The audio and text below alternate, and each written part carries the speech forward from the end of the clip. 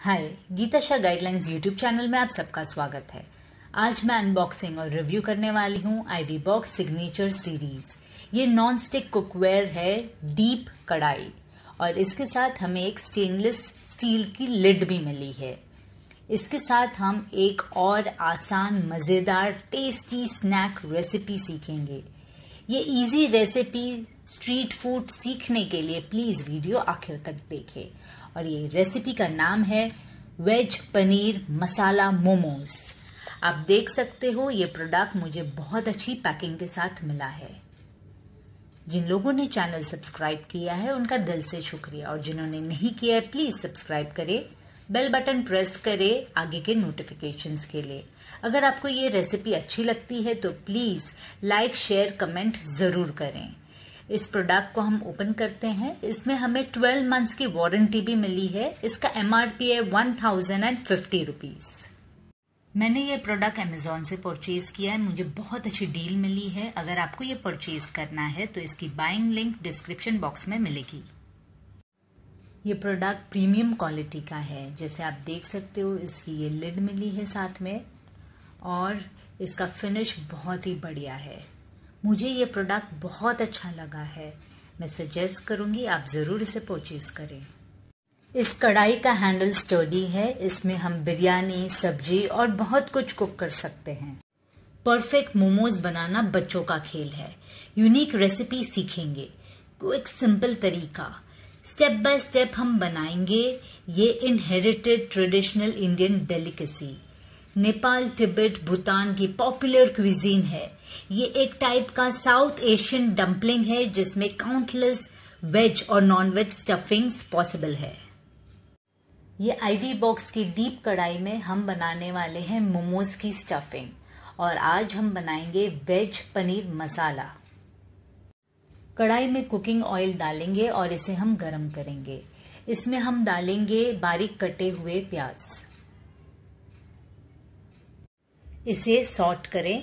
इस स्टफिंग में जो भी वेजिटेबल्स हम ऐड करेंगे, उसे चॉप या ग्रेट करके ऐड कर सकते हैं। और कोई भी इंग्रेडिएंट जो इस स्टफिंग में हम ऐड कर रहे हैं, वो कम या ज़्यादा हम स्वाद के अनुसार डाल सकते हैं। अब इसमें हम ऐड कर रहे हैं पेस्ट जो है जिंजर गार्लिक और ग्रीन चिलीज का। इसमें हम मिलाएँगे बारीक कटा हुआ कैप्सिकम और कैबेज आप इसमें गरम मसाला डाल सकते हो, अगर आपको इंडियन फ्लेवर चाहिए तो. लेकिन मुझे इंडियन फ्लेवर नहीं चाहिए, इसलिए मैं इसमें सेजवान चटनी डाल रही हूँ. इसमें हम डालेंगे नमक स्वाद के अनुसार और थोड़ा शक्कर भी डालेंगे और अच्छे से इसे हम मिलाएँगे.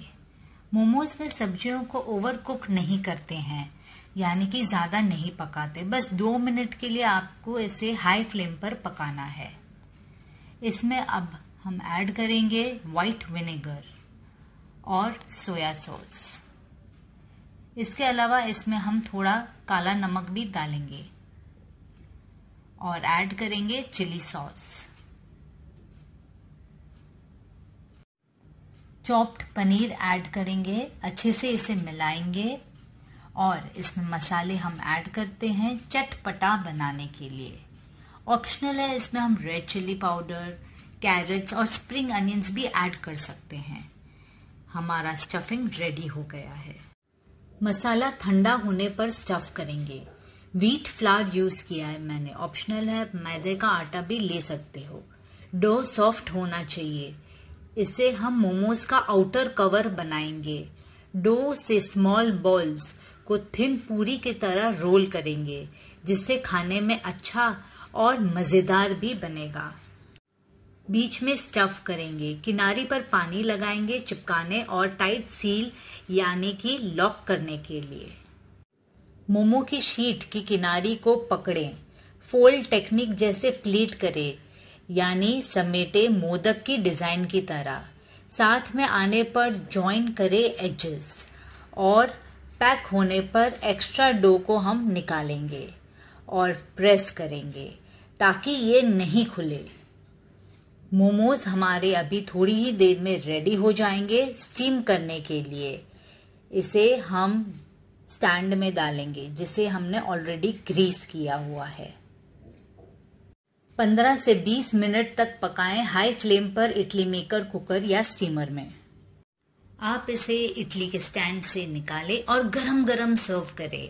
बहुत सुंदर लग रहे हैं हमारे हेल्दी व्हीट मोमोज और इसे हम सर्व करेंगे तिखी सेजवान चटनी के साथ।